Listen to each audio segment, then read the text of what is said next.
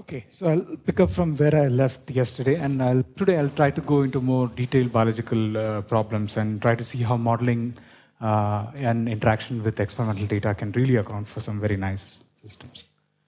So that's a summary. There are cells, we all know them, they replicate, and that's the basic phenomenon that's really characteristic of living systems. Right? That's where I left yesterday. So how do we think about um, trying to understand large-scale dynamical descriptions of living systems, given the fact that we seem to know the uh, microscopic interactions to a reasonably good accuracy. Okay. I particularly work in the context of developmental biology, so I'd like to understand how, starting from a single cell, the organisms go through a, a cycle to really generate the large-scale adult uh, creature. So, as most of you know, but probably the physicists Uh, will be new.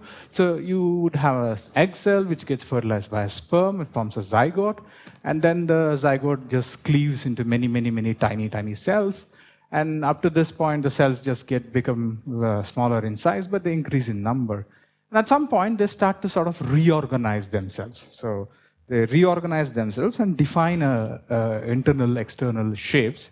And this is something that every one of us has gone through.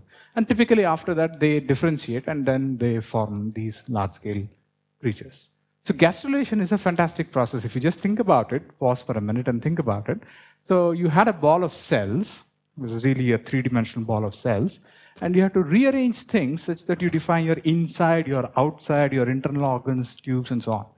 It's a fantastic physical process and which someday I want to work on. This is what you will see if you see a typical movie of development in the microscope. So this is a zebrafish embryo starting just a couple of uh, minutes or maybe an hour after fertilization. You watch it in the microscope and you see the emergence of these large scale patterns in, in the way the organism shapes up. Right? So this is just about half a millimeter in size, the whole creature. And is it working? And it really does it in a very remarkable, precise manner. So that's what we want to understand. So the kind of physical problems that I'm particularly interested in is trying to look at these large-scale development. So you can define development broadly, broadly, very, very broadly into two different classes. One is how do you make different kinds of cells? How do you specialize?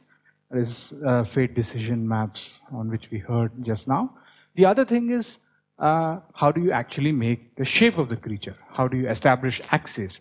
So from a physics perspective, you start from a bunch of cells, more or less isotropic, and you don't know what is x, y, z, which is head, tail, front, back, left, right. No axis defined, no coordinate system established. The creature establishes coordinate systems, defines its axis, and then starts building up its parts. Right? So there are the anterior posterior axis, the dorsal ventral, left, right, and so on. There's also the segmentation that comes up. So I'll try to discuss in some detail about the establishment of the head tail or the anterior posterior axis for a particular example system that I worked on. Uh, so that's the typical way we proceed, and we pick up a couple of um, examples of model systems. We can't say everyone, but we pick things which are amenable to experimental uh, uh, investigation, also sort of representative of the diverse class of living systems that we can find on Earth. So the standard model, for example, is Drosophila, which has been uh, worked on extensively for many, many decades. And if you watch a movie of uh, the development of Drosophila, it's a fantastic process. This is something happening in a closed chamber um, in response to certain organized signals. And you see the emergence of these fantastic shapes inside the creature. And then finally, uh, it hatches and goes out and goes on to um, its life cycle.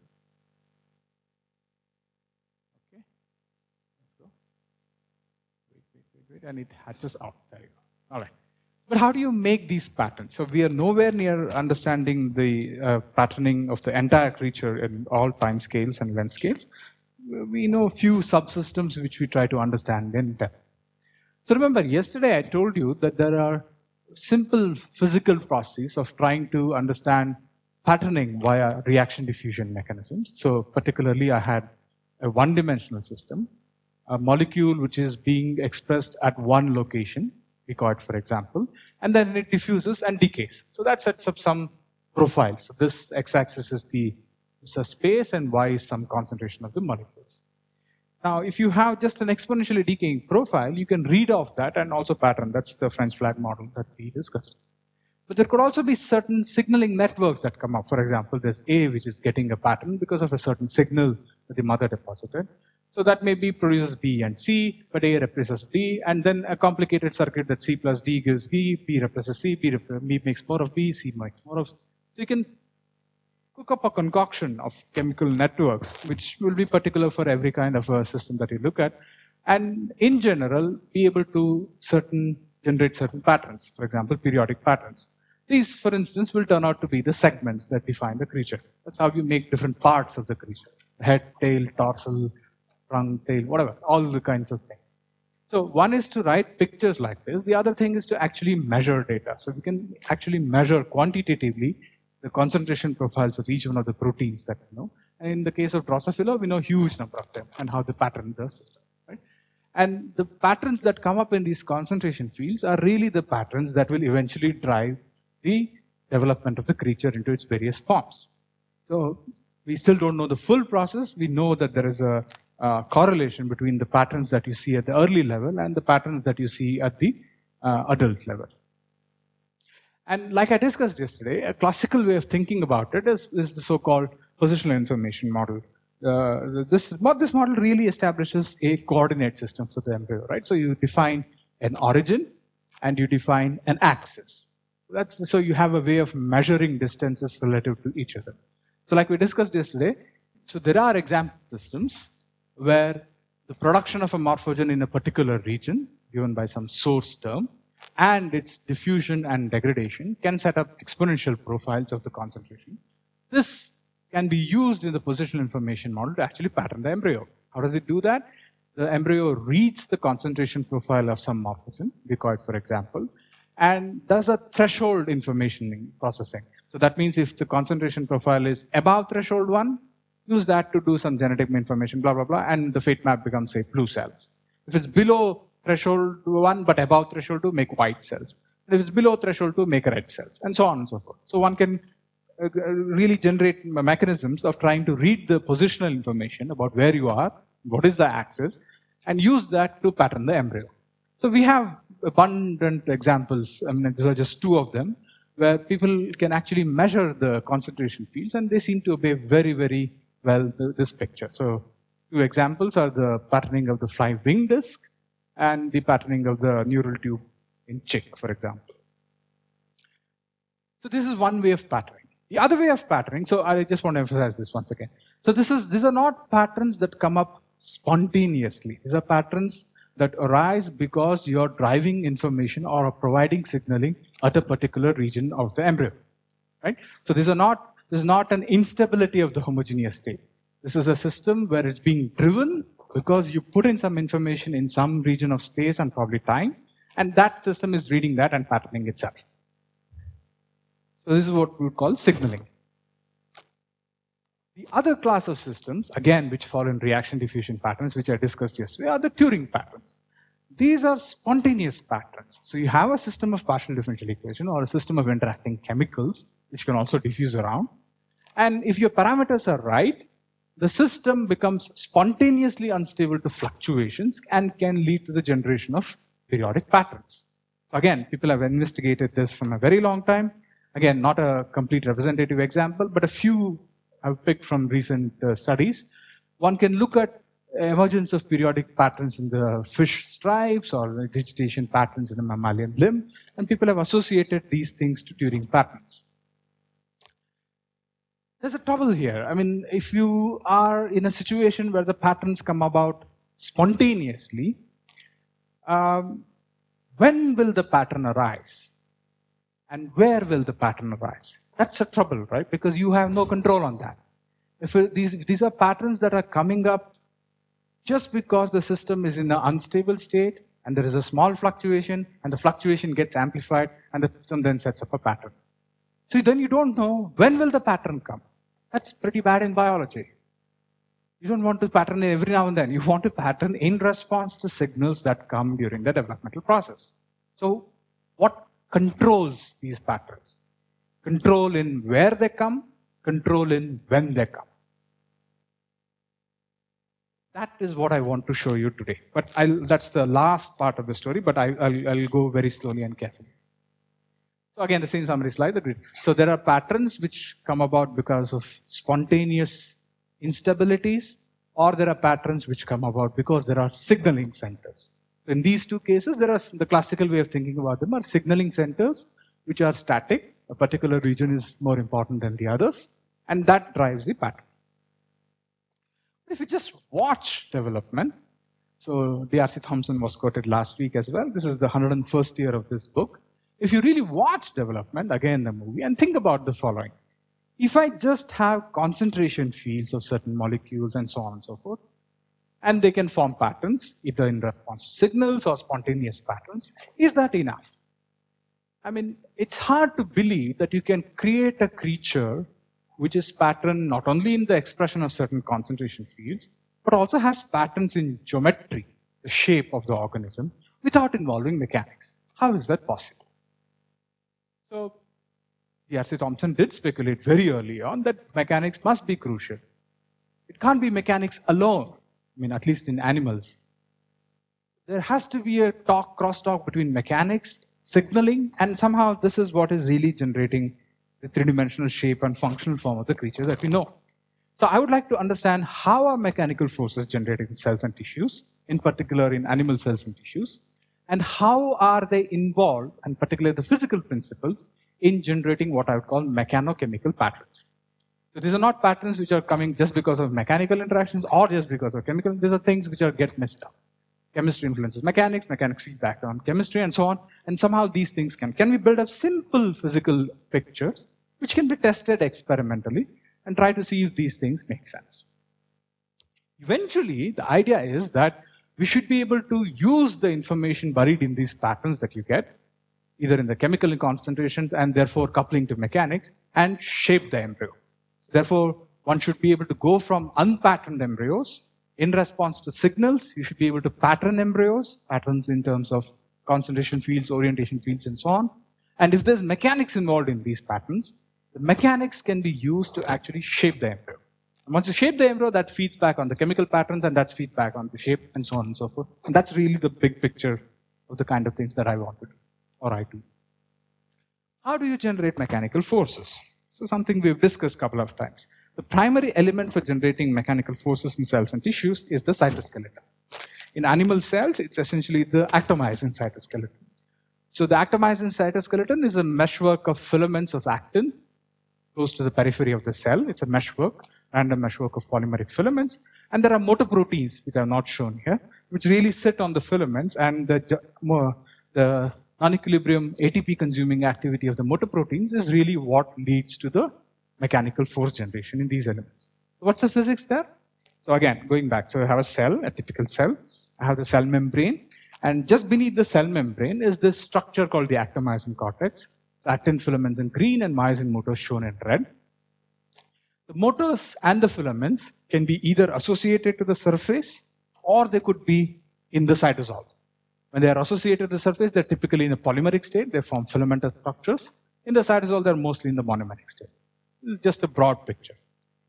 Now, this structure is not static in the sense like if you think of a piece of rubber, it's something which holds its neighbors together and structures are, it's really like an elastic material on long time scales.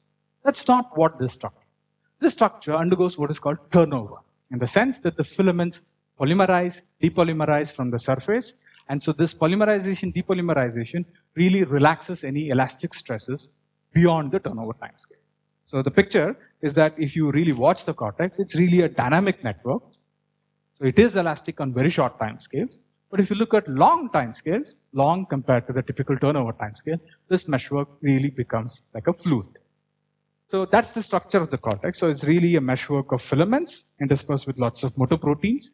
The motor proteins consume ATP, which is the fuel for biological process, and they actually walk on the filaments. They tug the filaments, and this tugging forces is essentially what generates mechanical forces in the cortex.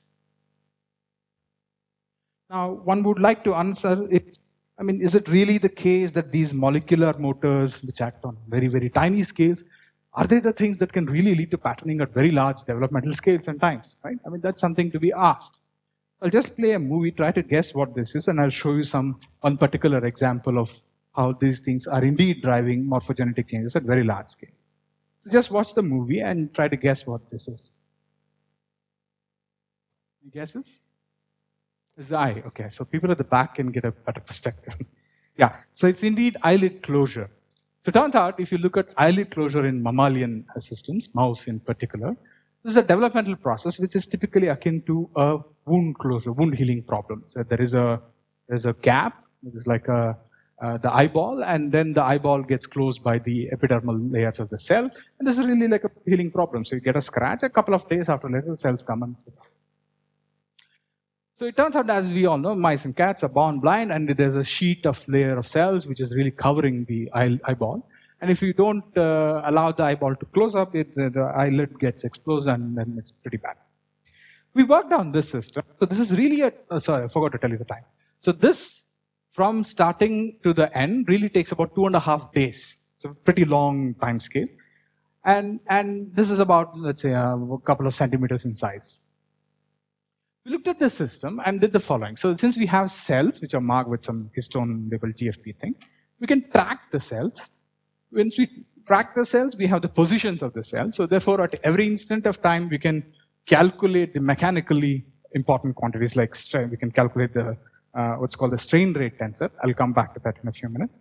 And once you calculate the strain rate tensor, we can look at the components, eigenvalues, and eigenvectors of the tensor. That gives you the principal directions of compression and extension. And if you look at the profile across the, uh, the, the closing front of the eyelid, there seems to be some peak of the mechanical extension and compression profiles. This is just from experimental data. If you just look at the expression of actin and myosin, there's an exact peak precisely where the mechanical compression and extension is maximum.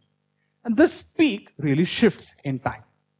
This is not really explaining things, but this is just showing that even at these large scales, this is about two and a half days in time, it's really actin myosin expression which is really driving these large scale morphogenetic changes.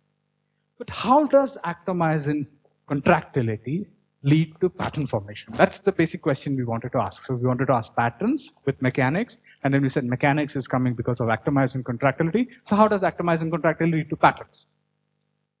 So first thing, actomyosin uh, activity generates mechanical forces, right? So let's just try to build a conceptual model and then I'll come to the mathematics part of it. So if I have a patch of the actomyosin cortex with some motor sprinkled there, it typically contracts. So you just have a patch and you just watch it in time, it just contracts. It's, it's a contractile uh, element. If you have another patch, but with a higher density of motor proteins, okay, so that'll also contract, the contractile forces is higher. So the key idea is the following. So suppose this is actually a connected. So that means there is a gradient in the motor protein concentration, and a gradient in the motor protein concentration will generate a gradient in the contractile tension in the actomyosin cortex. So immediately, if you just look at this, it's intuitively clear that this will have a flow from the left to the right. So what's the take-home message? That if you have a myosin gradient, so therefore you have a contractility gradient, that leads to flows. What we want to do is to try to establish a theory for understanding how we actually can quantify this very, very uh, nicely and see if this can really uh, be said in a very quantitative fashion. So one favorite example in the lab of Stefan Grill in Dresden, where I worked, uh, is, is, uh, is the C. zygote. So this is a one-cell uh, the C. zygote. So GFP attacked uh, myosin is what you're looking at. So there are, the first thing is that the, there are patches of myosin. So myosin is not homogeneously distributed. And the typical patch is about a couple of microns in size. The other thing to notice is that if you catch hold of one of the spots, you'll see that there is a large scale flow from one end of the embryo to the other. Remember, this is confocal, so you're looking at the bottom plane, so you're just looking at the patch of the cortex at the bottom half of the cell.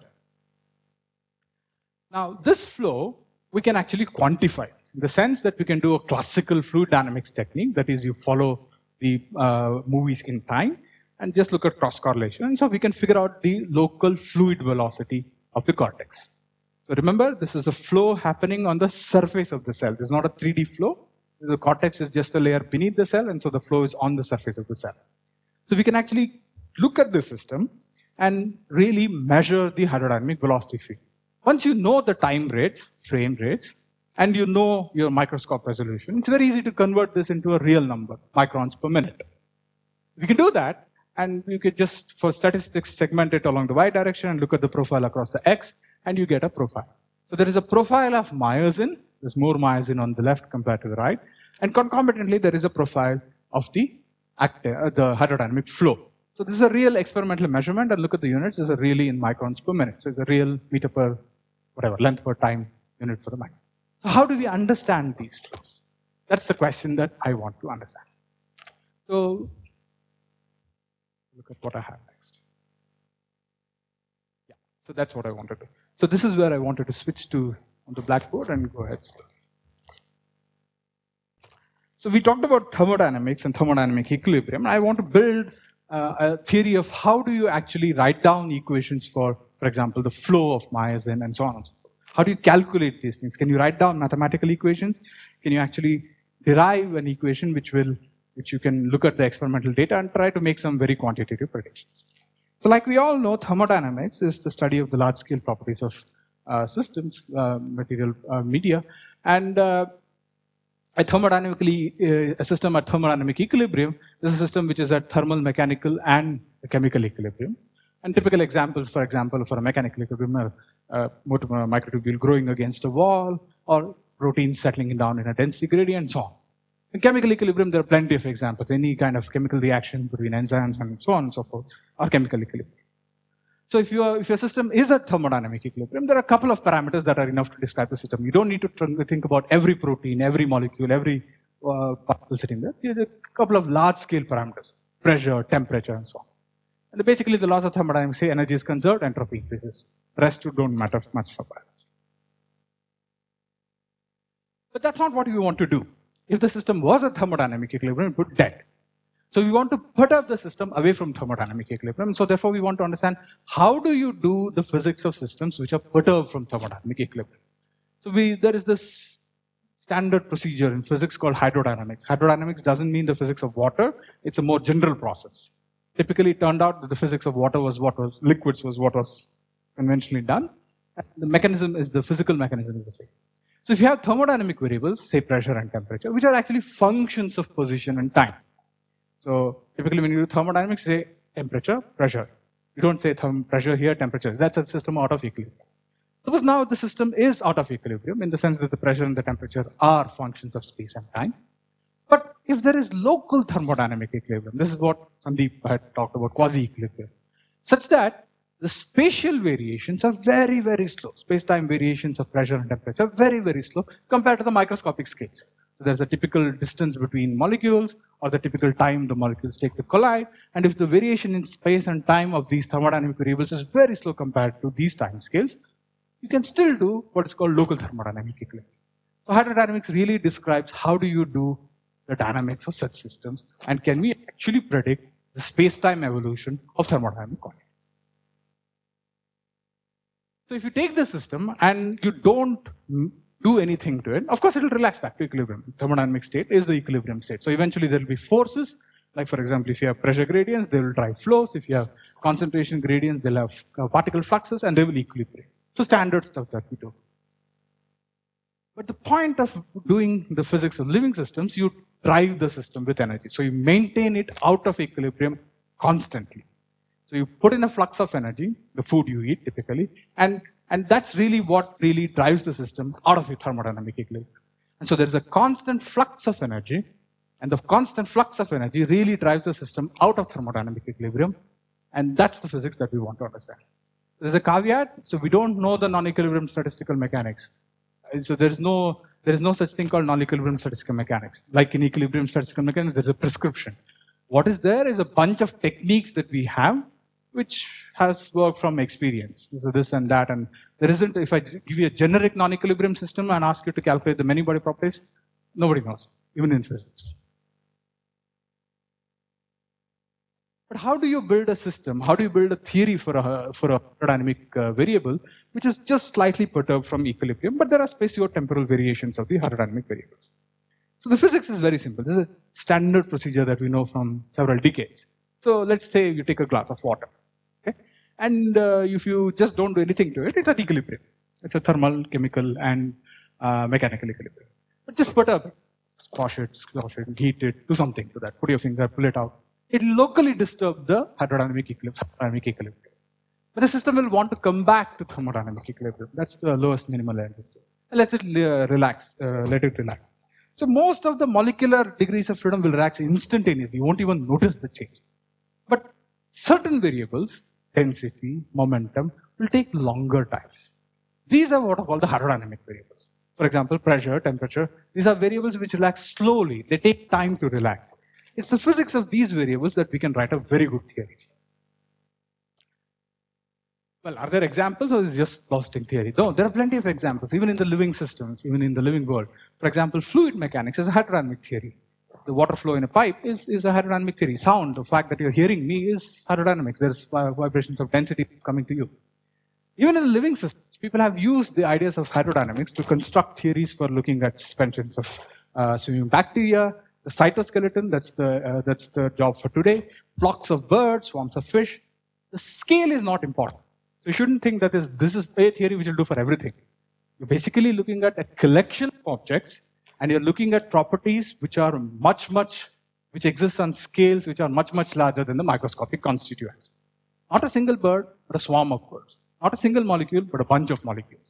And that's the kind of a theory that we can write down for hydrodynamics. And what I want to do is to develop an active hydrodynamical theory for the actomyosin cortex and tell you how those flows are coming. So I'll go slow, then it'll get uh, into the details of the experiment. So if you have some questions, you can free feel free to stop. So I want to introduce the idea of coarse graining. So how do you build a hydrodynamic theory? Do you look at every molecule? Suppose you want to do it for a glass of water. No. I mean, that's, that's not a hydrodynamic theory per se. You really want to look at dynamical uh, parameters and fields which are characteristic of the large scales that you're looking at. So a glass of water can be thought of as a dielectric medium. You can really think of the charges in each of the molecules. Or you can go up in scale and look at it as a diffusive medium or a viscous medium or a flowing medium, or forget everything and think of it like a lattice. You can do at various levels of description. What level should I use? I mean, this is a question of modeling, right? I mean, what is the description? Should I think of every possible thing? Should I write down a quantum mechanical equation? Well, it really depends on what you can measure. What are the things that you can measure and what are the things that you want to understand and describe? There's no point in writing a theory for something which you can't measure. Sure. Or if you can write a theory like this and then get to levels where you can measure, that's very useful, the experimental uh, system. So if you have more and more details of the description, you need more and more complicated theories because there are more and more parameters. One could ask what are the simplest theories or the simplest kind of modeling at the level that I can measure. And then we can refine it slowly and build up more and more complicated theories. So the way I'll try to derive a hydrodynamics for the cortex is by looking at a general prescription for writing hydrodynamics for many particle systems. So I'll have a glass of water again. So I'll think about small volume elements. And I'll look at small volume elements and I'll try to understand, for example, how the density in the small volume element changes. So the small compared to what? Small compared to the size of the system, but large compared to the molecular size. Even if I have a small volume, there are many, many molecules. There are a uh, million molecules or billion molecules. But still, it's very small compared to the whole size of the glass. So I, I take systems like this and I want to build hydrodynamic descriptions for them. So these volumes can also move. That's the flow. That's the flow that you see in a, in a, in a pipe of water, for example, right? So, but again, the flow or the velocity that you're talking about is not the velocity of the molecules. The molecules are doing random walk, just like what we did yesterday. But if you look at the average velocity of the molecules over a coarse grained volume, that's what you get as a smooth hydrodynamic flow or a deterministic description of the system. Right? And what are the kind of things that we want to write a hydrodynamic field for? We want to write for density of the, of the molecules, how many molecules are there in a given volume. And if the particles are not simple point particles or spheres, but they're really rods, we also want to talk about orientation. For example, think of actomyosin, actin, which is a filament, and you want, want to talk about the orientation field of light. But these elements can also flow, whether it be rods or spheres, they can also flow, the hydrodynamic flow. So we want to write hydrodynamic equations for the flow as well. How do we write down hydrodynamic equations? The way we write down hydrodynamic equations, like I said earlier, is that we look at the quantities that are defined and very slowly on long time scales, long, slow, very slowly on long length scales. And for a simple fluid, just as an illustration, there are only two of them. One is the density field, total mass is conserved. The other is a momentum density. The total momentum is conserved if there's no external forces. So you write down an equation of motion for the density and the momentum density, the mass density and the momentum density. How do you write them? Well, the total mass is conserved. So if you have a small volume element, the way you think about volume conservation or number conservation, I have a small volume element. The shape doesn't matter. Now you know that obviously the total mass of the system, if you integrate over all space, should be a constant. You can neither create particles nor destroy particles. So if that's the case, and if I look at a small volume dV, how can the total amount of material in this volume change? Well, you can't create or destroy. The only way it can change is because something went out or something came in. So therefore, if you ask the rate of change of the volume, the rate of change of the mass inside this small volume dV can only change because there was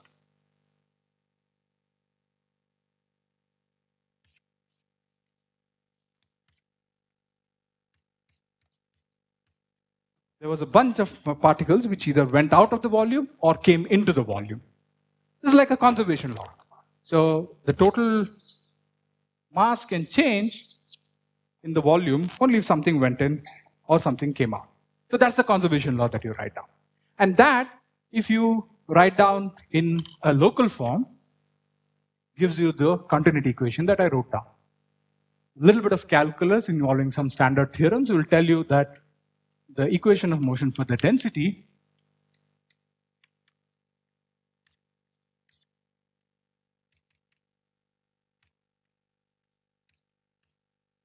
will be the continuity equation that you know from many momentum density. But the current of particles is essentially the momentum density, right? So it's the flux of particles, how many particles are going out per unit area, per unit time. And that's really the momentum density. So the momentum density is the current for the conserved variable, which is the density, mass density. Now this is for mass. What about momentum? Well, surely momentum is also conserved, right? That's what is essentially Newton's law. And so if you look at the total amount of momentum in a simple volume, well, that momentum can change because some momentum came in or some momentum went out. It's a bit weird of a quantity. But that's essentially the idea of a conservation, right? Something can change because something came in or something went out. Now, the density was a scalar, and so the current of density was a vector. The momentum is a vector, and so therefore the current of momentum should be a tensor. And that's essentially what you have. If you look at local momentum conservation in a volume,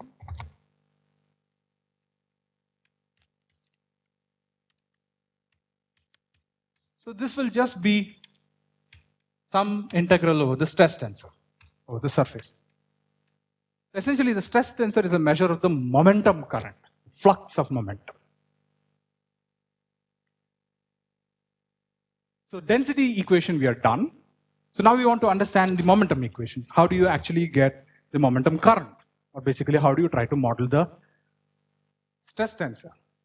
So I remember, I'm just writing down Newton's law, nothing more than that. Newton's law just says, look at the rate of change of momentum. That's the total force.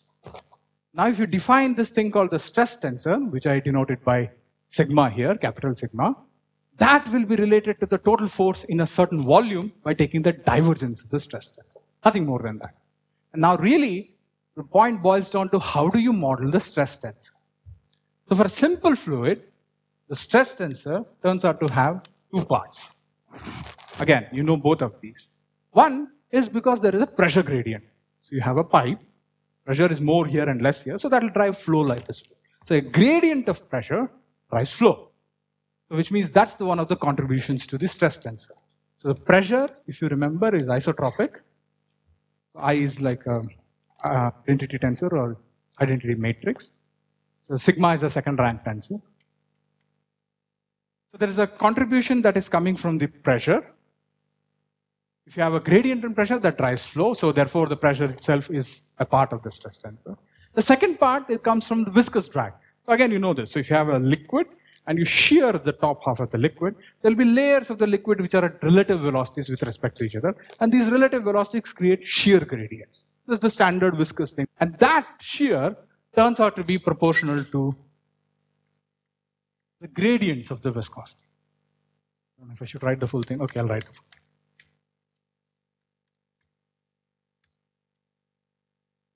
So what you basically need to understand is that you're looking at a velocity field and you're looking how the velocity field changes with respect to space. So that itself becomes a complicated object like a second rank tensor. And that part with some coefficient called the coefficient of viscosity, the shear viscosity, contributes to the stress. If you understand this, fine. If you don't, it doesn't matter. It's just saying it's the gradients of velocity. And so therefore, if you take this expression for the stress tensor, put it in the second law of Newton, you get an equation for the flow. That's the celebrated Navier-Stokes equation. So that tells you that if you have a pressure gradient, you generate flows, and that's opposed by viscous gradients in the flow. Now, we just had the following thing, right? So ddt of the momentum density is the minus divergence of the stress tensor. So this is what we learn in school. Rate of change of momentum is equal to total force. But after some time, we also learn the following that there are frictional forces, there are drag forces, and things like that. At some point, when we learn the damped harmonic oscillator, we say things like it's overdamped. So, which means inertia is really negligible. Basically, if you have a system and you apply a force, and the system moves in response to the force. If you remove the force, the system keeps moving at the same velocity. That's Newton's second law. However, if friction is so high that whatever the momentum you give, it can't sustain, it just dissipates, dissipates very quickly. Turns out you need to have a continuous application of force to maintain any motion. That's the low Reynolds number limit. So typically, if you have, always screw this up. It's U L by nu with nu is eta by rho.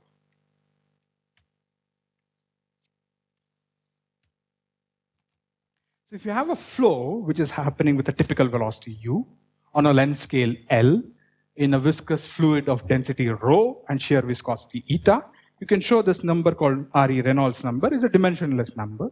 And this number really tells you whether inertia is important or viscous forces are important.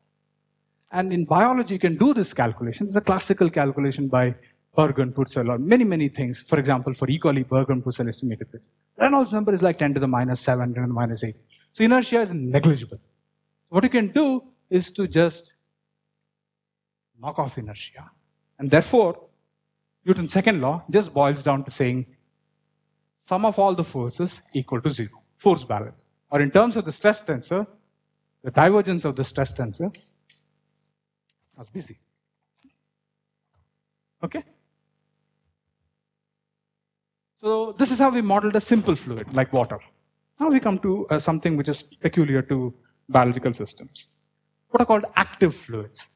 So remember, I told you that the cortex is a, is a fluid on time scales longer than the turnover time scales. And the fluid is not a simple fluid because there are molecular motors which are sitting there consuming ATP, tugging on the filaments. So that generates additional stresses. So for a simple fluid, there is a passive stress, which is the pressure and the viscous stress.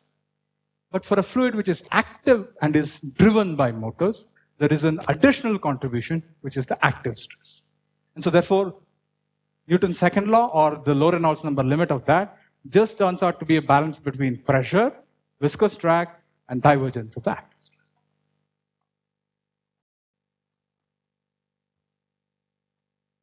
So now we come back to the system that we are really interested in. So that, this is the actomyosin cortex. There are flows that are happening in the actomyosin cortex. And we, were, we said that we can actually measure the flows and we can quantify the flow. So we can get the source of the flows, which is really the myosin expression, myosin level, and the hydrodynamic flows which we have measured.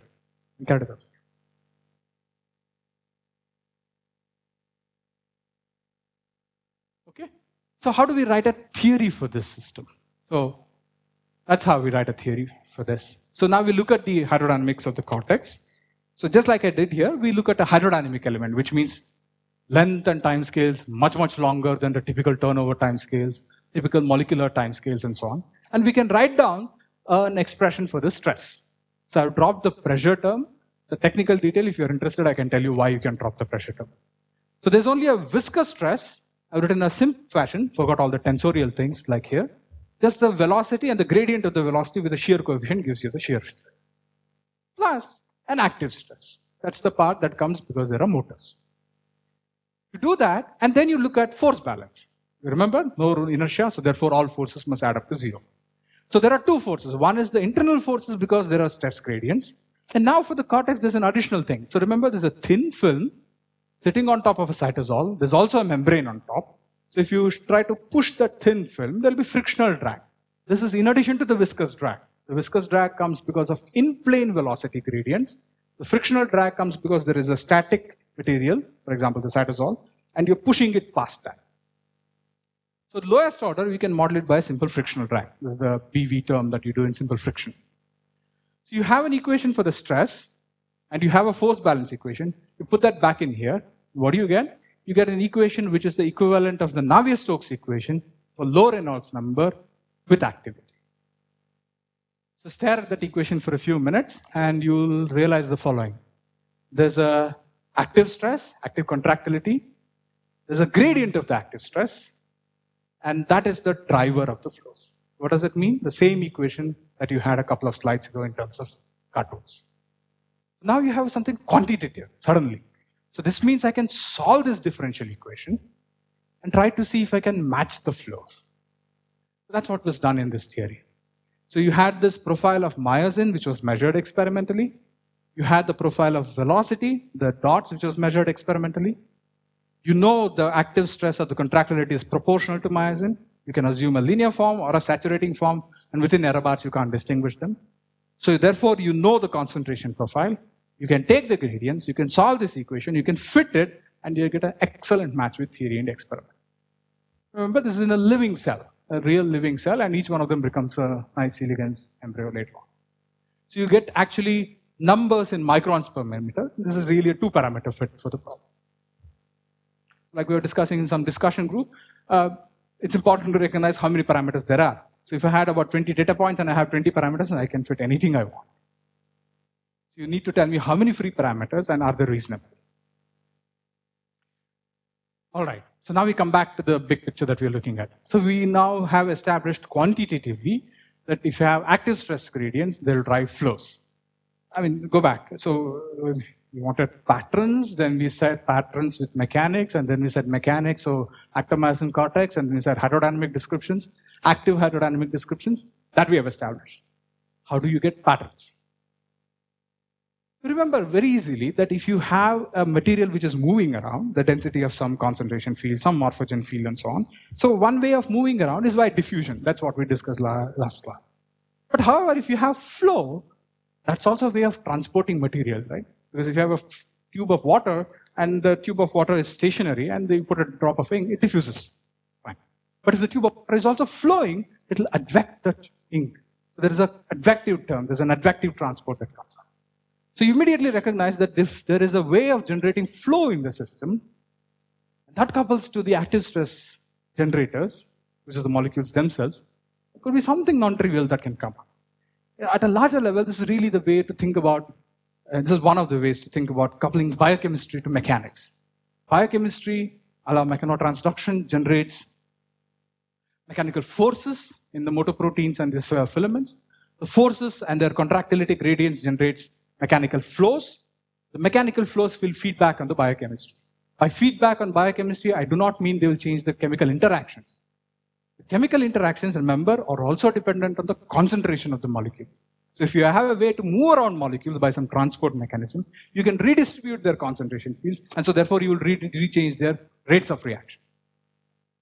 There's a nice feedback that can come up. Are there patterns here? Yes, it turns out that there are very nice patterns here. So I wrote down a simple model, and let's try to go through the system. So there is one molecule, A, whose concentration I'm denoting the same letter A. And I want to understand how does the concentration of A change with time at a given position and time. Okay, so I want to look at how does this change with time. Now remember, if the molecule does not have any chemical reactions, then you know that the total amount of material in any volume, just like the conservation law, should be conserved. So that means this should be the gradient of some current.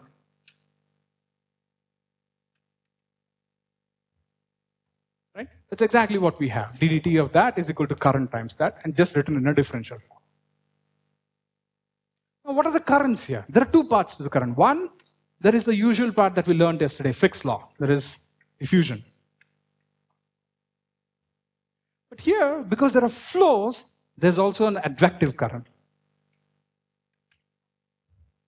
That's essentially what's here. So there's an advective flux, there's a diffusive flux, and the gradient of the total flux is the time rate of change of the molecule, molecular concentration, if there are no reactions. In addition, you could have reactions. For example, think of a simple linear turnover term. So just sets the value of A to A naught, nothing more than that. So with some rate K, it sets A to A naught. This is exactly the reaction term that we talked about yesterday, the production term, right?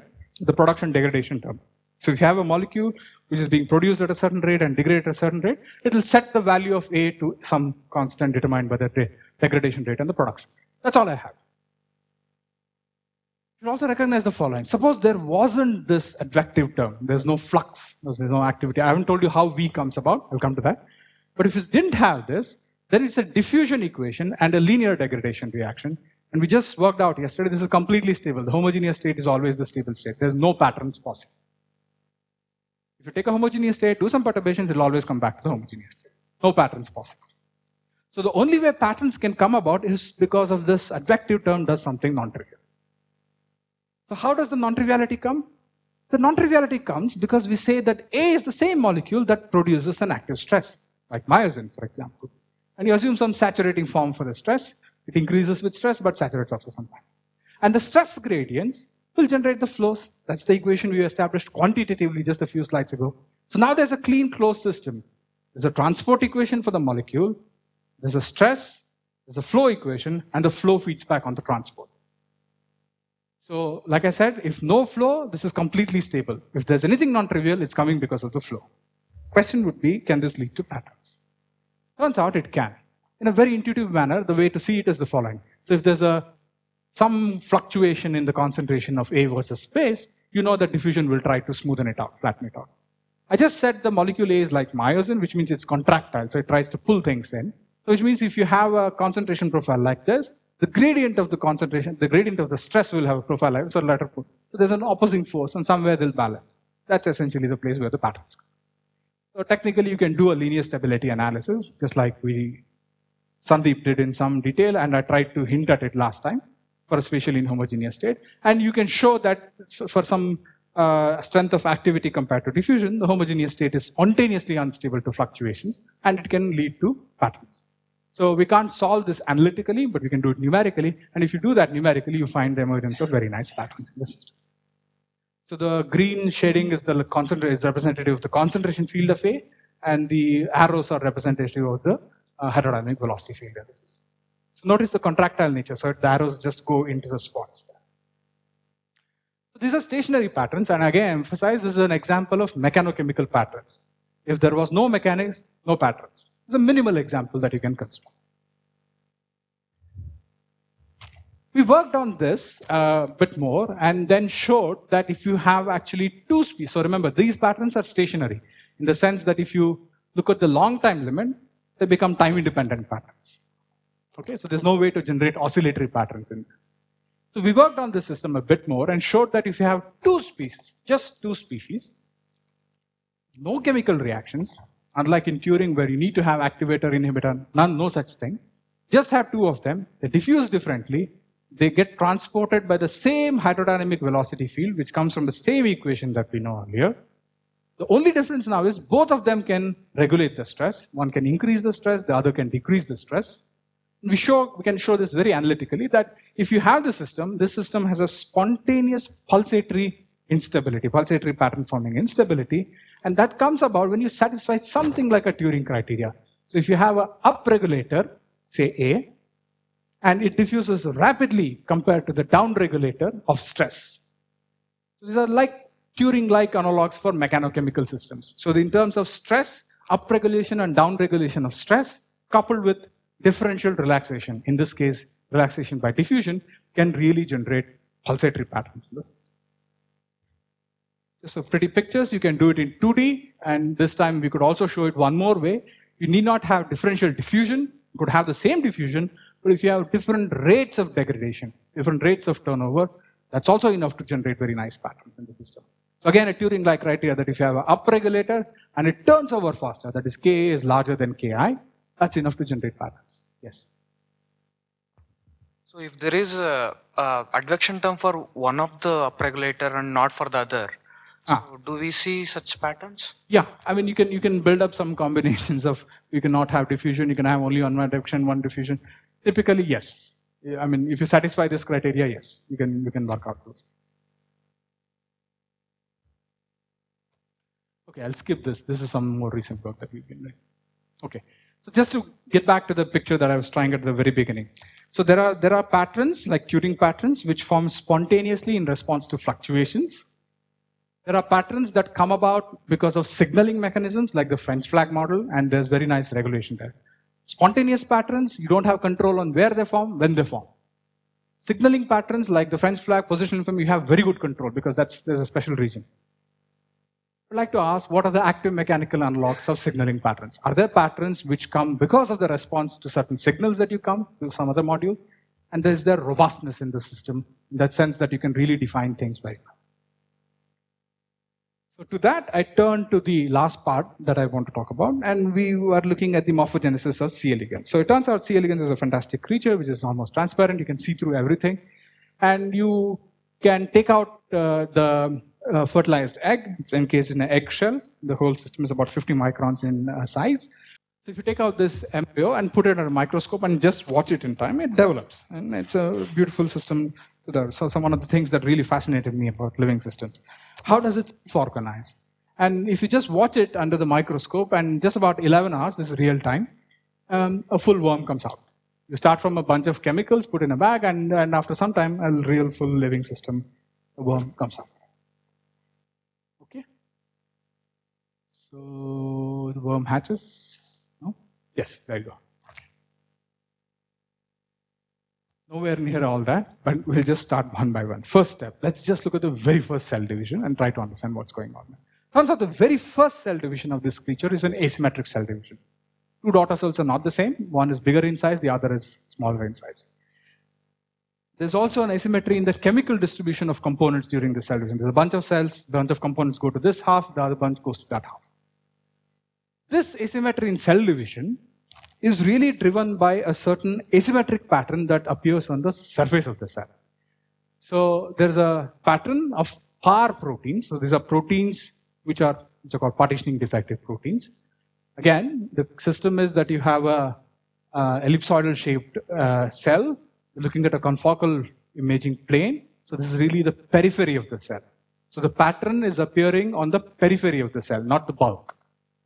So you start from a state which is completely red, one of the PAR proteins, and then a blue domain develops. And at the end of the day, this really defines a, a system with half red and half blue domains. And this polarity pattern really establishes the antero-posterior axis, the head-tail axis of the worm. Remember, this is a problem that we said. Axis establishment is a fundamental problem in developmental biology. How do you do this very robustly? So remember, initially you had completely red, there's an axis, but there was no polarity. This end was not special compared to that. But once you establish this pattern, you know that this end is different from that end.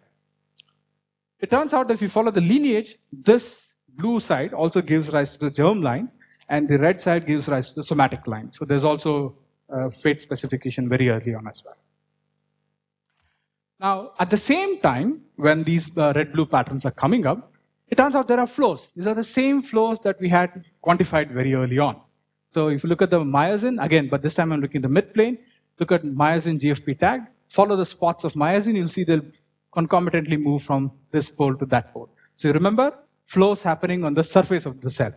So there are flows, and then there are patterns in some polarity molecules. How do we understand this mechanobiological pattern? How do we know its mechanics? Because you know that if you perturb the flows by doing something to myosin, I'll show that sometime later, you can really affect the patterns that come up. And so therefore mechanics is playing an important role. It's not the most dominant role, it's, it's, it's a part of the story. What are the PAR proteins? So these are each red and blue that I showed is really a complex of proteins. So there's some uh, structure which is known. And uh, these proteins can be in two states. One, they can be bound to the membrane or they can be freely diffusing in the cytosol. So there's some exchange kinetics between the membrane and the cytosol. The chemistry of these PAR proteins is such that there are mutual phosphorylation sites on each of the two complexes. So there's a bunch of three complexes in one uh, kind of PARs and the other, some other complexes in the other kind of PARs. And there are mutual uh, phosphorylation sites in each one. What does this do? This gives rise to antagonistic interactions. What does it mean? If I have the cortex of the cell, and I look at the PAR proteins which are diffusing here, this guy and let's say there's no other color. White guy. So whenever the white and the red, white and the green meet, they both get knocked off into the cytosol. So we're talking about the antagonistic interactions when they are on the membrane, and whenever they meet each other, they like to knock off into the cytosol. So you know if you have a double negative feedback like this, that gives rise to bistability. That's what we discussed in, in uh, Sandeep's class, right? So if there's bistability, and you have a spatially distributed system, like our PAR system here, where there are spatially, uh, spatial degrees of freedom in the system, it can give rise to domain patterns. So I'll explain the bistability in a moment. Just take it for granted that there is a bistability, and if you have bistability, when we talked about bistability in Sandeep's class, we talked about bistability in ODE systems. There's no spatial degrees. It was a well-mixed system. If you don't have a well-mixed system and you have bistability in the interaction, this can lead to the existence of domain states, pattern forming states. And so the PAR polarity problem is really going from a state like this, where there is a red high, blue low, homogeneous state, to a state like this, where there is a blue domain and a red domain. So I've just taken this, unwrapped it, and put it there. This is apolar, this is polar, and so establishes the head-tail axis. Let's come to the bistability. You can model the reaction diffusion patterns that come up in these PAR proteins, just like what we did uh, uh, in last class, by trying to look at reaction diffusion systems. And for the PAR proteins, there are very simple kinetics. So I said they can exist in two states, right? So they can be on the membrane or they can be in the cytosol. So obviously there will be some exchange between the two. So they can bind from the cytosol to the membrane, they can unbind from the membrane and go back to the cytosol. So there is an on rate and there is an off rate. So A and P are the concentrations of the membrane bound part, not the cytosolic part. In addition, there is a mutual antagonism. So you, we figured out several forms in Sandeep's class of how to get in by stability by looking at the kind of reactions that are possible. Such considerations and, and very simple arguments because we don't know much about the interactions suggest us that there are some polynomial uh, sitting here in both the terms and if alpha and beta are integers, if alpha and beta both are 1, there's no bistability. If at least one of them is greater than 1, you can show mathematically there is clear bistability. Think of the same kind of arguments that you draw the null lines, look at the intersection points. That's essentially what you're doing here. So you're plotting the full reaction term, forgetting diffusion, full reaction term of P and A, and looking at what are the points where they intersect. So just like in the class we had earlier, you can go to a parameter space where there are three intersection points, two of them are stable, one is unstable. That's bistability. So what's the bistability that you're talking about? So if you have a spatially mixed, well-mixed system, of course there are only two states. So there's A high or P low, A high P low or A low P high states. But if you have a spatially extended system, that means you can have a system where the molecules can also diffuse around. The possible states are that you can have a state where there's only one PAR high, switch the colors, red, green is the same as blue. So you can have a system where spatially both the PAR proteins are homogeneous or the other way around. That's the two bistable states that are possible. But if you have a spatially extended system, you can also have states where there are domain patterns. Okay? So there are regions in parameter space where there are only homogeneous states possible, and there are two kinds, that's the bistability. There are regions in parameter space where homogeneous states coexist with domain states. And the PAR problem is really here. You start from a state like this, red high, blue low, green low, and you go into a state of domains. So that's the problem that we are looking at. Start from a red high, completely homogeneous, put some signals, I'll tell you the signals, and the signals drive the system into a domain state. You can also mathematically show this will be important in the later data that I show, that we can take this system and in this domain of parameters where there is a homogeneous state coexisting with a domain state, if you want to go from the homogeneous state to the domain state, any small perturbation will not do. Because really both are stable. So if you want to go from this state to that state, there is a barrier to be crossed. There's some, it's not energetic minima, there's some minima in something, I don't know what. There's some minima where the homogeneous state is stable, there's some minima in which the domain state is stable. You want to go from here to there, a small perturbation doesn't do the job, you have to push it hard enough. You can show that uh, schematically by doing the following. You can take these partial differential equations, put in a small perturbation. Tries to form, doesn't do it. It's just below the threshold. Increase the threshold of the perturbation, and then the system, starting from a homogeneous state and in response to some perturbation, immediately switches and goes to the domain state. So it begs the question, what is doing this transition? What's the biology of this? All this is nice in maths. That's the biology that comes up there. Turns out there are two pathways for the PAR system to go from a homogeneous state to a domain state. One pathway is where the centrosome associated with the male nucleus, male pronucleus, takes blue proteins, the, the PAR2 proteins, which are in the cytosol, and puts them on the surface. So remember, because A and P do not like each other,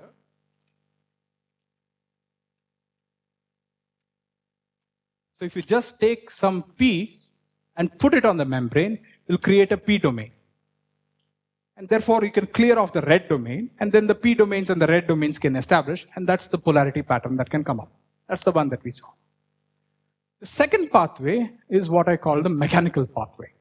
So this is a pathway where the same male pronucleus locally depletes myosin at the posterior pole. I'm not showing a lot of data. We have measured these data very, very carefully. It locally depletes myosin at the posterior pole. So if it locally depletes myosin somewhere, there's a profile of myosin, which means there's a profile of active contractility, which means there's a flow. That's what we have characterized very strongly earlier. So the flow will therefore push off the red protein, and then the blue protein can come up, and the whole thing starts. This is how I do a lot of hand waving, but let's get on to the details now. That there are two pathways, and they seem to be redundant. Either can do the job, but on physiological time scales, this is slow. Still does it. It's about 100, 200 seconds slow. But in combination with both of them, you get the right thing for the wild type. Now, one thing is to build up a mathematical model like this, show some solutions of that, and which looks like the data that you get in the movies.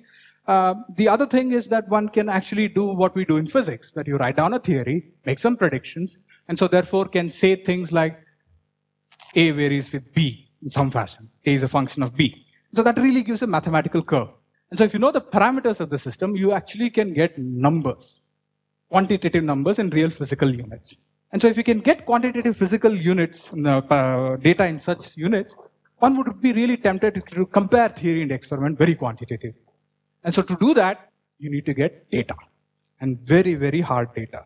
So this is a result of four years of work. I started this when I was there in Dresden in the last year. We've been collaborating for four years now. Extensive uh, work by Peter Gross, who's a postdoc in Dresden, has, has resulted in the following. So we can take images like this, confocal images. Remember, you're looking at the midplane, and we can do the following. Look at the profile across the membrane. We can look at the concentration profiles. So remember, this is a red herring. This is the polar body. Forget that. You're really looking at the concentration outside the cell to the inside of the cell. And so we can look at the concentration profile and we can figure out where is the membrane or where is the cortex at that point. We can cut it open digitally and so therefore can get the profile of the proteins across the periphery of the cell. Both the proteins, the red and the blue. We can calibrate it with known concentrations. So if therefore, if you know uh, fluorescent levels, you can convert it to concentrations in real units. And so therefore, what you end up with is a profile of the red and the blue protein in terms of the number of proteins per micron square on the surface of the cell. That's a real number. That's a density. We can do the same thing for myosin because that's the thing we know is generating the flows. For myosin, we can also do particle imaging velocimetry. That's how we have done these quantification of the flows. And so therefore, what we can do is that take images like this in the microscope and convert it to data like that. So these are solutions. I mean, okay, it's not solutions. These are real data of two PAR proteins, the red and blue proteins, myosin motor protein, and finally the hydrodynamic velocity field on the surface of the embryo. So these are averaged over several embryos. There's a very good consistency and also some spatiotemporal averaging uh, to get very good statistics. We have very, very good statistics. Each point is the result of 10,000 points within there. So there is very, very good statistics there, space-time resolution. And yet the pattern is very, very robust. So you can immediately see several things coming up here. So you start from homogeneous red and blue states, and myosin is also homogeneous. And it's hard to see the chemical cue. The mechanical cue is very clear. So look at myosin, starts out flat at t equal to zero, and there'll be a dip in myosin. The dip in myosin, if you watch the movie again, will create a profile of flow. There you go. The profile of flow will drive out the red PARs, and so therefore the blue PARs can come in, and then the domain establishes. How do we understand this mechanobiological pattern quantitatively? So that's where we build in the models. First, we build a schematic model. We say that there are proteins which can be bound on the membrane, A and P, anterior and posterior PARs, and myosin. They can also be in the cytosol. And so there's some exchange kinetics on the cytosol. While they are on the membrane, they can move around by diffusion on the membrane itself, or they can also get advected by the flows, the active hydrodynamic flows that I discussed earlier. Now, the proteins also are um, bistable. Uh, they form bistable interactions because they are mutually antagonistic interactions resulting from mutual phosphorylation. This system, like I said, can be triggered by two signals from the centrosome. One directly loads PAR2 molecules, the blue guys, onto the membrane. The other locally reduces myosin here. So this pathway is the reduction of the myosin uh, pathway. This pathway is the introduction of the PAR 2 onto the membrane pathway. This system gets triggered, and that's how the domains are coming up. To get more quantitative. We actually worked out some FRAP data. I'm not going into the details because of the lack of time. And we found out that there's an effective interaction between myosin and one of the PARs. And at the end of the day, it turns out that one of the PARs regulates the off rate of myosin. We've done extensive data by looking at FRAP in various domains of the system and quantifying this data very, very carefully. So what it turns out is that one of the parts regulates the off rate of myosin. In fact, it inhibits the off rate of myosin. So therefore, effectively, it puts on myosin onto the membrane. That's all is the system, schematically. But we write down mathematical modeling for this. So how do we do that? Same picture like we did earlier. So we have a reaction diffusion model. There's reactions, there's diffusion. In addition, we have advection. Those are the things that I built here for the mechanical model there. And the mechanics comes in because one of them is a motor protein, myosin, generates flows via the same equation that we established quantitatively. These flows feed back into the system, and that's how the pattern is coming up somehow. We write down the theory, we write down partial differential equations for the concentration fields of the two PAR proteins and myosin, and finally the flow. So this system as a whole has bistability, has spontaneous pattern forming states, all other mechanochemical patterns that I showed, all kinds of things. But where is the wild type? Where is the real system? What is the parameters of the wild type which ensures robustness here? What's the, what's the physics and the biology here? So remember, I told you the PAR pattern and typical patterns in developmental biology do not happen spontaneously. They happen because certain signals come which tell you where to make the pattern, when to make the pattern. And so where are those things? Those are the ones that are coming from the two pathways. The two pathways are really like guides. So they do two things. Like I said, one of the pathways regulates the off rate of myosin and so loads, sorry, regulates the off rate of the posterior PAR and loads posterior PAR onto the membrane. The other pathway locally downregulates myosin and so creates profiles of myosin, so flow and so the pattern. So that's the full set of partial differential equations that I have. So there's a very nice modular structure, and this we'll use when we do some perturbations to the system. There's a part which is involving the polarity proteins. There's a part that's involving the mechanochemical aspect of the actomyosin cortex, myosin and flow, the two PAR proteins. Okay. So now we have these complicated PDEs, and then we have data. Um, you can foolishly ask, can you fit this uh, theory with the experimental data that you have? And anybody should be able to say, uh, you have a horrible number of parameters, so I can fit anything to anything. Right? Sure. There's a very nice parable that goes in physics. So that says if you have a theory with four parameters, you can fit an elephant. And if you have five, you can make him really strong. So I have much more than five, right? There's a nice proof of this. I really urge you to take a look at this paper by a bunch of very well-known biologists. Take a look at this paper. So I have to tell you how many parameters do I have in the system. Turns out I don't have so many independent parameters. So if you actually tabulate all the parameters and find out what do we know and what do we not know, except the ones which are shaded, we know all the other parameters, either from previous literature or we can measure them experimentally. Simple on-off rates, diffusion coefficients can be done by FRAP or FCS, fluorescence correlation spectroscopy. So we know those numbers. By doing flow estimates and things like that, the earlier one, we know the parameters of the cortex, like the viscosity, the effective active stress, and so on and so forth. There are a few parameters which we really don't know much about. So there's 1, 2, 3, 4, 5, 6, 7, 8, 9, 10, 11. Oh, I can still fit an L elephant. So there are 11 parameters in the system. So I should be careful about that. So here's where the power of genetics and the modularity of the system comes into play. So remember I said there is a nice modularity because there is a patterning system in terms of the polarity proteins and there's a mechanochemical system in terms of myosin and the flows. So we can use my uh, C. elegans genetics, which people know extremely well, to reduce the complexity of the system and fit parts and then ask if the whole can be explained. So we do something called MLC4 RNAi. My MLC4 RNAi is myosin light chain kinase. This really regulates the Rho-ROCK pathway of the activity of myosin. So if you knock off MLC4, it really uh, knocks off the activity of myosin. Myosin is there, it's not contractile, it doesn't generate contractile forces. In terms of equations, effectively myosin is not there because it's not interacting with the polarity protein. So therefore I can knock off the myosin equation, I can knock off the flow equation, and I can also knock off the flow transport in the PAR polarity equation because there's no flow anymore. So we have quantified this, the flow is orders of magnitude slower compared to the wild type. So we knock off that.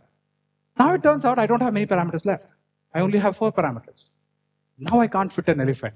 So if I can actually compare the data and the theory and I can get good results, I can trust my data. In fact, you can take this PDE, solve it. This is a nonlinear PDE, so we can't solve it analytically. We solve it numerically. We can do parameter inference. We've done it by various nonlinear least squares fitting methods. We've also done it by Bayesian parameter inference. And then try to compare and optimize parameters, which gives you very good agreement with the data. If you do that, you get movies like this. So there's experimental data, and the theory curves are the solid lines that are there. So we see we can actually match the pattern very quantitatively, even the numbers. Remember, these are numbers of proteins per micrometer square, number of proteins per micrometer square on the surface of the cell.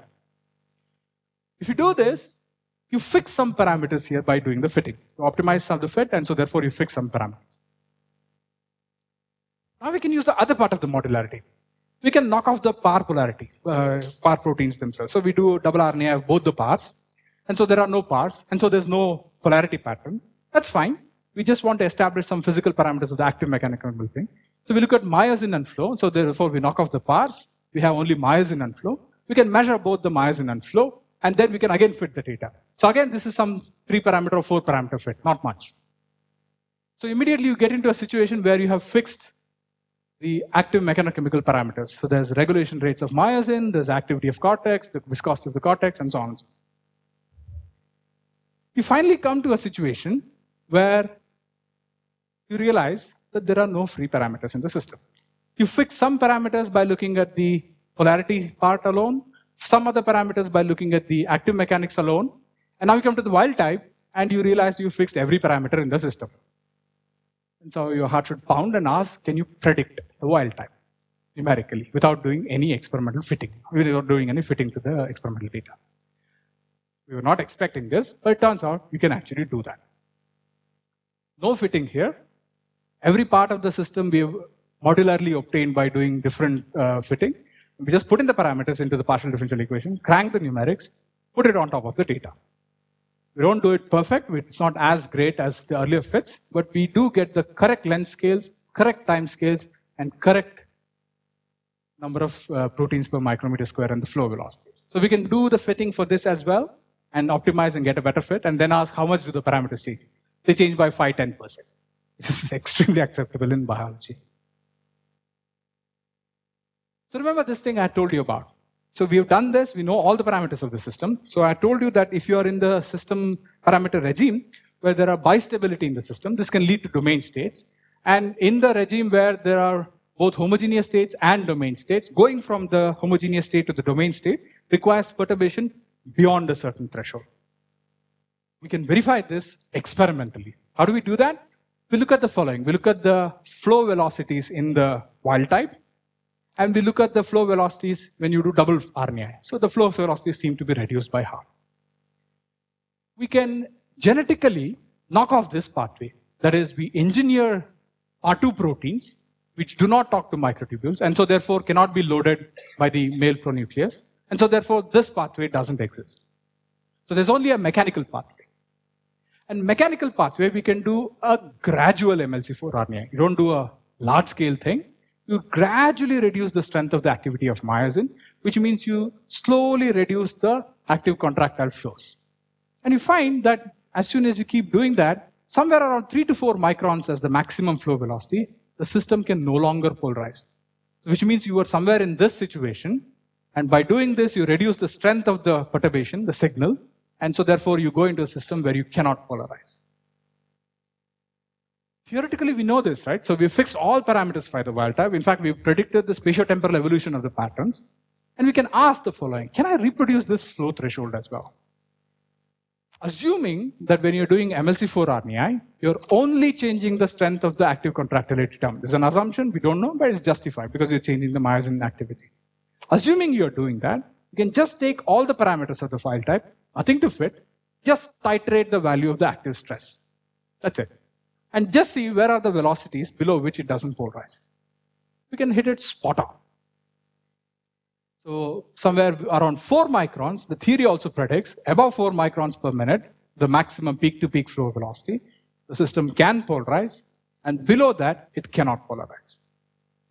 And that's is really spot on with the experimental data. So what do we learn from all this? Yeah, so one more thing not only the first order uh, uh, theory, but uh, I mean, for, for, for, people who know what meant by correlation functions and all.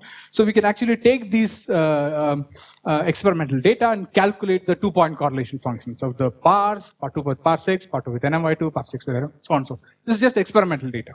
And since we have fixed the theory and all the parameters, one can ask, does the theory also reproduce the correlation functions? And it turns out it's pretty good.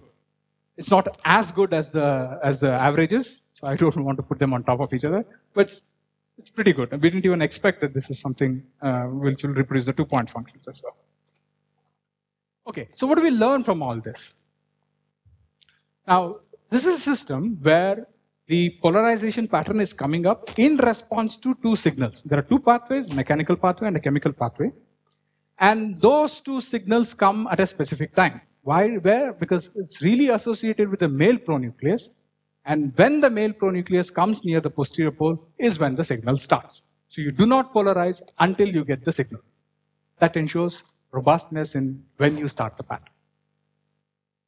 So a way to think about it is that you have a system which is switchable, can go from a domain state to a, a homogeneous state to a domain state, and it operates far from spontaneous instabilities. How do we know this? You know all the parameters of the system.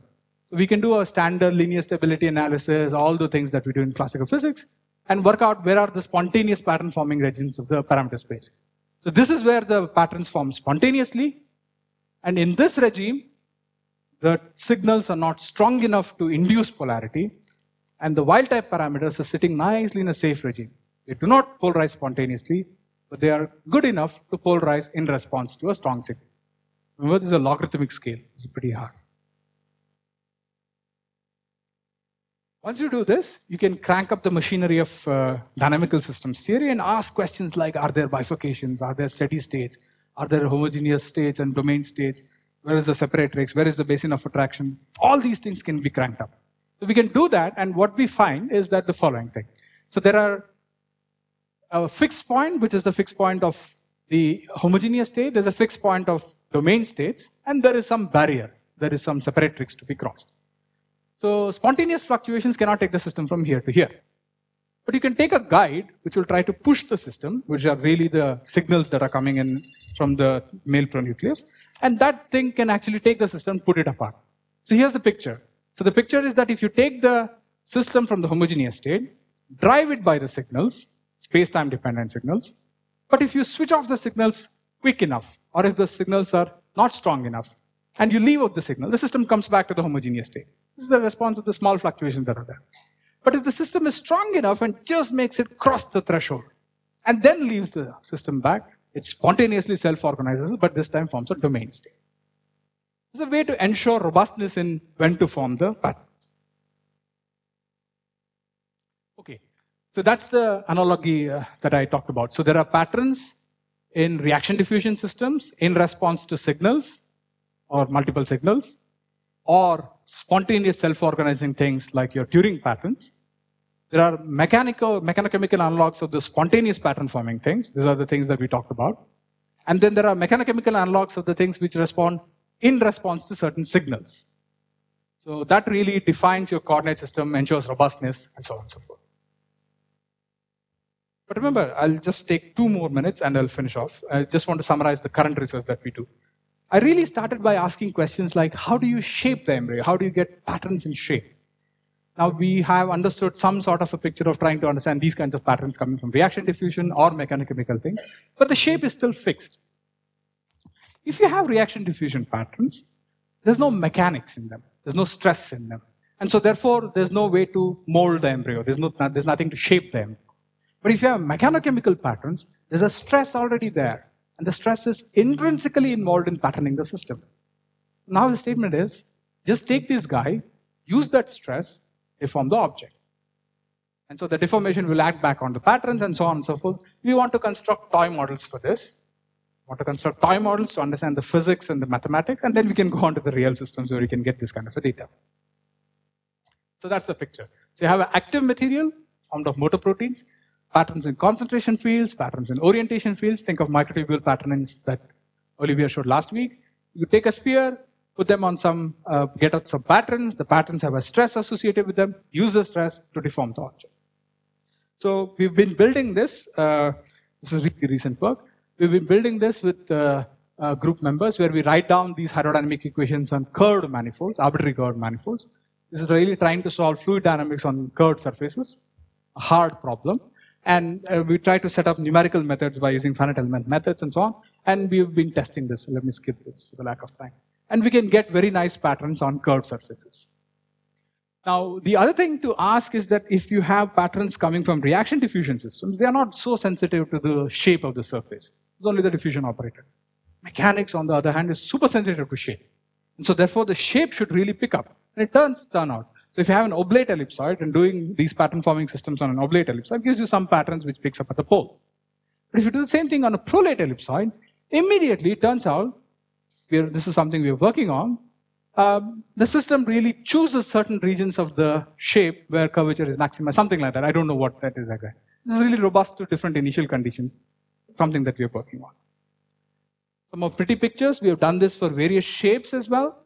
And even there, it turns out that you can get very nice looking patterns which really pick out the shape of the surface. And things like uh, what Utpal was talking about, looking at the Gaussian curvature and what are the things that these patterns are picking out, something that we're working on. Okay, so that's the summary. So I tried to talk about morphogenesis in general and try to look at how patterns come up in concentration fields, order parameter fields, flow fields, and so on. There can be patterns which come spontaneously in response to fluctuations, or they can couple to signaling. And so therefore these signals can regulate the patterns. And there are patterns that finally can come up in geometry as well. That's something we are exploring. I'll stop there.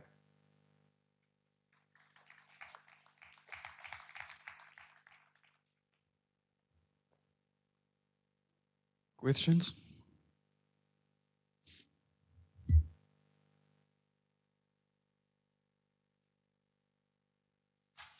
Uh, very general point having to do with patterns which are generated as a result of local interactions, which later give you some sort of coordinated image of the entire uh, system, versus patterns which are generated from, as you said, special signaling centers and so forth. Now, the second kind of pattern, do you know of any example where it exists in either a multicellular or multinucleate system, as opposed to a system consisting of a single cell, maybe a large cell, and cytoplasm alone. For example, many of these Spemann-Mangold kind of things, uh, signaling centers in the fish or frog. I don't know if people have. So those are single cell situations. No, no, no, at the multicellular level as well. Yeah, but the the organizer there is a single cell, but it sends out signals. Which yeah, but it comes out via inter pre-existing interactions. So what I meant was, do you really have something like the bicoid system, but in a situation involving many cells or many nuclei? I, I don't know any definite example. But I guess there must be, but I don't know. I don't know that. I, I don't think any are known. That's the, I, to my knowledge. So I was interested whether you knew any. I don't know any.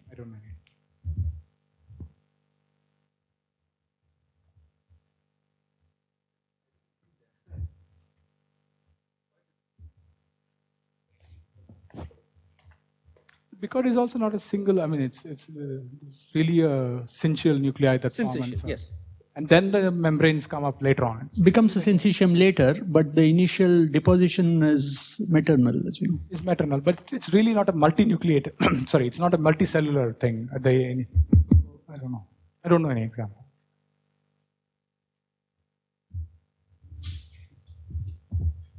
Uh, so yeah, so the mechanical mechanochemical patterns you only have them with contractibility and diffusion, right? So is there any prediction of what would happen with uh, uh, contractibility and also chemical reactions? Ah, like I and mean, that only adds to the complexity of the problem. Sure, uh, there are many toy examples. You can take classical Turing patterns, which come because of reaction diffusion system, put in active mechanochemical things via the cortex, and then look at how where are the pattern mechanics really modifies the dia- phase diagrams, the regions where you get patterns and all.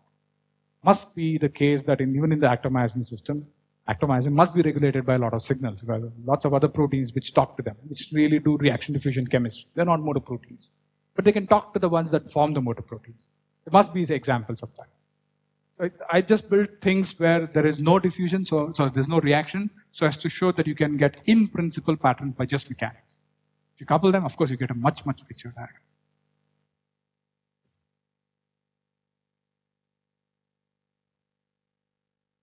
Can you please uh, elaborate more on active stress? I mean, it's a constant quantity that you're taking in your interpretations, or depends on. No, it's not a constant quantity. I said it's a quantity which depends on the local amount of myosin in some small one. Now, the local amount of myosin could be different in different amounts of volume. Therefore, there's a profile of myosin, which means there's a profile of the active stress. And the amount of myosin could also change with time because it moves around, it diffuses, it talks to other signals. And so, therefore, the active stress will also be a function of space and time. It's not something I put in by hand, it's something which comes out because of the motor activity of myosin.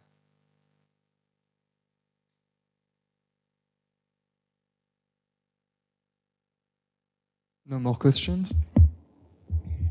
Okay, so let's thank the speaker again.